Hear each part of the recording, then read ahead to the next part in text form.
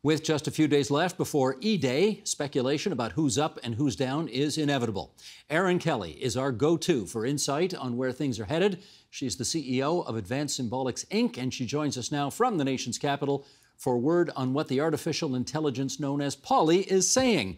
And Erin, I don't know, should we put people out of their misery already?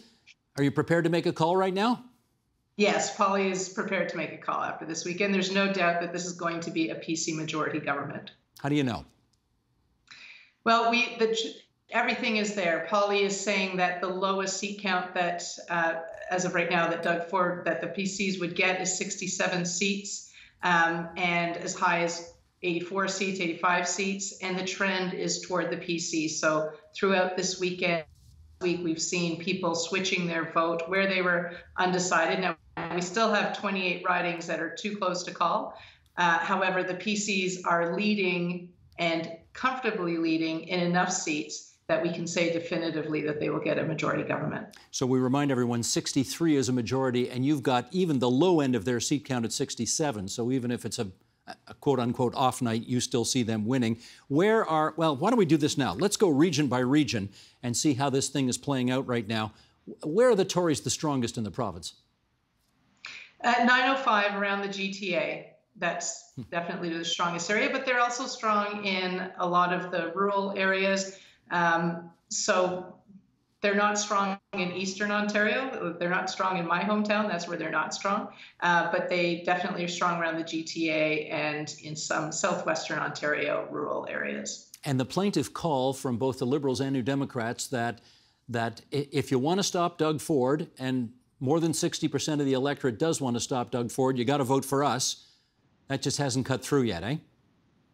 That is too late. So what, what you will be deciding at this point is whether the Liberals or the NDP will form the official opposition because that is definitely still very much in play. They're tied right now. Hmm. All right. Let's go into the 416. Lake Ontario in the south. There's the west end of Etobicoke in the west and Scarborough in the east. Steeles Avenue in the north. How does that look to you, Erin, like it's breaking down on Thursday night? Well, it depends. So that's a so in Scarborough, we're seeing the NDP is um, in contention. We'll put it that way. It's not like strong, strong, but in Scarborough, they, the NDP and the Liberals still do have opportunities. Um, 905, the Liberals in Oakville are within contention, and in Missis- some parts of Mississauga. So it, it, those are the ridings that are very close. Um, but if you go north of Toronto, we're seeing definitely PC um, and, and a lot of those ridings in and around the suburbs of Toronto are definitely PC. All right, let's so stay it, with it uh, varies by riding. Sure, let's stay with the 416 for, for a little bit more here, and uh, let's start in the northeast. We'll go to Scarborough, Scarborough Centre, which was a riding last time that was decided by uh, fewer than 2,000 votes and there's no former sitting member running for re-election there, so it's an open seat this time. How's it looking? Scarborough Centre is so the gap between the PCs, so it's a battle between the PCs and the Liberals, and the gap is about 7.4% with the PCs in the lead. So that should remain comfortably conservative on Thursday then. 7.4 is yes. The margin of error is 6% and lower. It's still in contention at 7%, you're starting to get more comfortable. Okay, let's check so, some more so ridings. Some more ridings of interest here. Uh, Kathleen Wynne ran last time in Don Valley West. She is obviously retired. And there is a new Liberal candidate there, Stephanie Bowman, who's running against the former Chief of Police of Toronto, Mark Saunders. What does Polly have to say about the tightness of that riding? It was, I think Ms. Wynne won it last time by about 100 votes, so it was very tight. Yeah, that's still a liberal. The liberals are leading. The PCs are in second place, and the gap there is 7.9%. Hmm. All right, let's come around to the Niagara Peninsula. Niagara Falls, where Wayne Gates is the former sitting member seeking re election. What is Polly saying about the tightness of Niagara Falls? Niagara Falls is the tightest riding in the province right now. The NDP is leading the PCs, but by 0.5%. So that's really statistically it is neck and neck between interesting the PCs and the NDP. That is interesting because that's a that's a former well that seat's bounced around among all three parties, but certainly of late it's been a Liberal NDP fight. You say the Tories are in contention there now, is that right? Yes. Hmm. Okay, that's different. Uh, all right, let's bring up, um, Sheldon, let's do the 905 now. And the 905, of course, these are the ridings that go all the way from uh, Hamilton, Niagara region uh, in the southwest, wrapping around Lake Ontario, all the way out to Durham region in the east, Halton region, Peel region, York region. Uh, the 905 decides elections because it's almost always in play. Uh, how's it looking right now, Erin?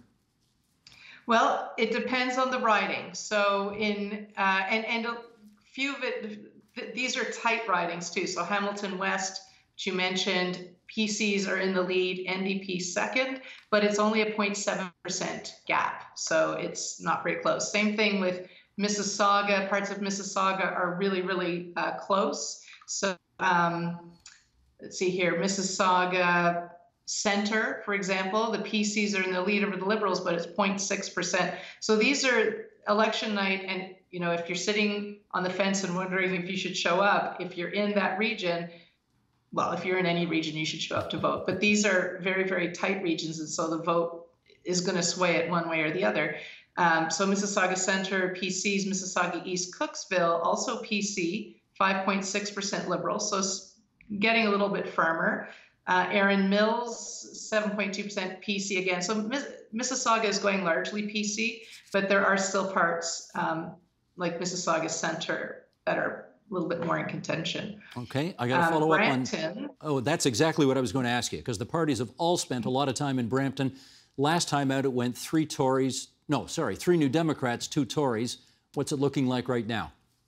It's looking Tory right now, uh, with the exception of Brampton East which is NDP in the lead over the PCs, but only by 2%. So Brampton East still in contention. The others are pretty tightly uh, progressive conservative. Yeah, the five Brampton ridings have really been a focus of all the major parties in this campaign. I know uh, Sara Singh, for example, in Centre, won it by a couple of hundred votes last time.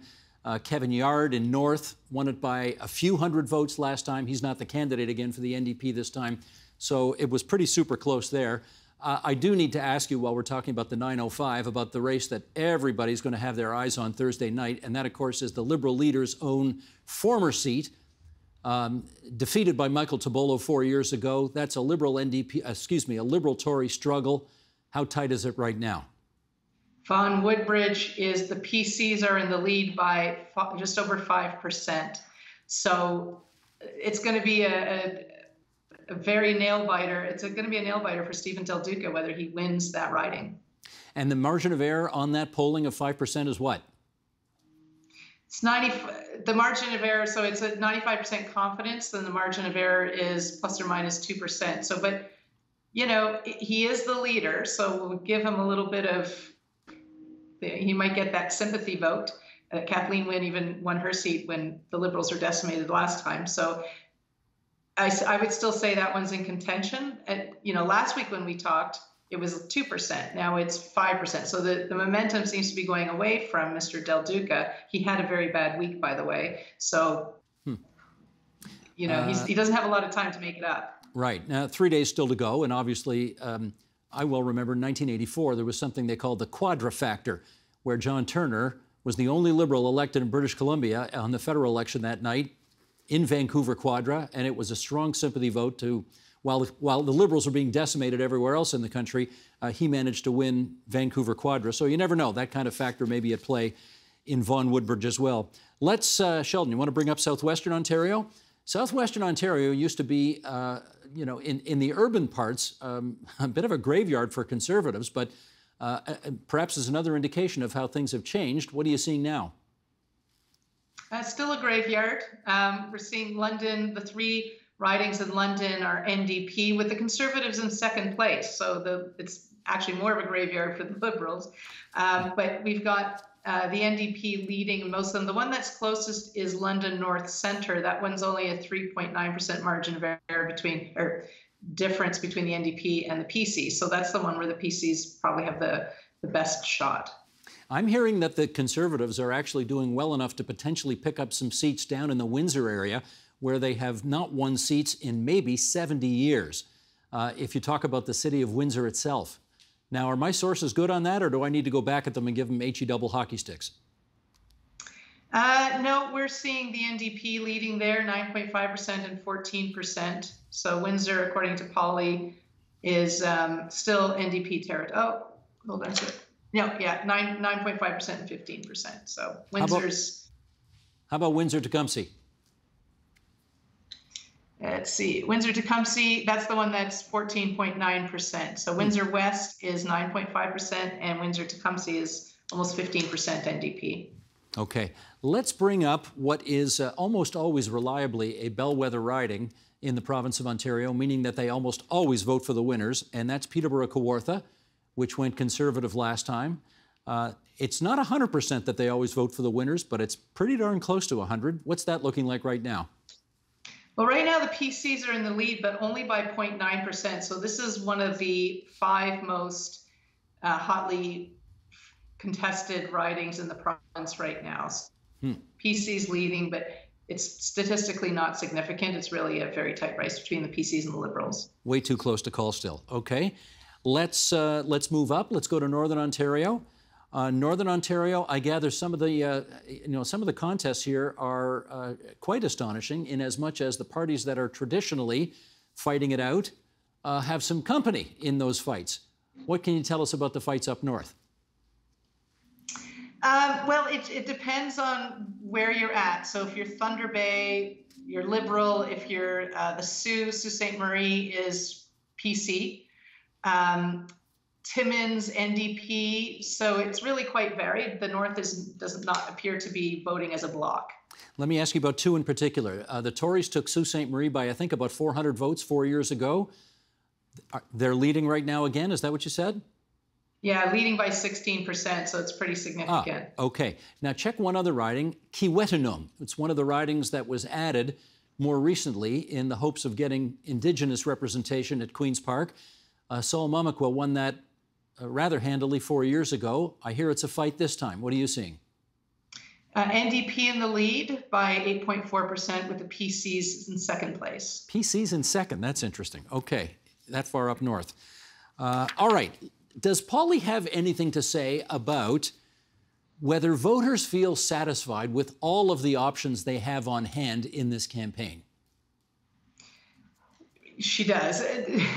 this is a loaded question, but it's definitely very clear, especially because of the low engagement, but also other factors that we're seeing, that um, this is not an election that has excited people. It's not an election where people feel that they're voting for something in particular. This is really an election where uh, the PCs have been in power for four years and people feel they've done a okay. I mean, it's mostly been dominated by COVID. So this is not something where people felt the government was uh, having a lot of control over things. They were just managing. And and there's been a lot of cynicism, I would say, that we've seen in conversations here that governments don't have control to make life better. They just kind of are managing things. But that's probably a reflection of what we've been through in the last two years. There's no excitement in this election, and that's what's really, really different from other elections that we've seen. Usually there's ups and downs and peaks, and especially when the election is called, we usually see a big peak of people talking about it, and that didn't happen this time. Well, a lack of excitement in an election campaign is almost always good for the party that's in power, so that would explain why the PCs, you have them on, on course to win another majority. Got about 20 seconds left here for you to tell us, Erin, whether there is much undecided vote yet left to pick over. Oh yeah, there's almost 30 ridings where it's it's neck and neck, um, and between all three parties. So it depends on the riding. So definitely there's but it's really we're choosing the official opposition at this point. It, it is a pc majority government. Who will be the main critic in keeping the the government to account? Will that be the liberals or the ndp that's what's still to be decided. Okay 10 seconds left. Tell me who's going to win Parry Sound Muskoka. Are the greens going to have the breakthrough and win a second seat no they're not it's that's 25% ahead and uh, i forget now let me just look quickly um, it is PC. PCs will beat the Greens in Sound. You're going to join us here Thursday night for our Super Mammoth Marathon election coverage evening, and uh, we can chew over the numbers some more on that occasion. Thanks a lot, Erin. Great. Thanks, Steve. See you Thursday. The Agenda with Steve Paikin is made possible through generous philanthropic contributions from viewers like you. Thank you for supporting TVO's journalism.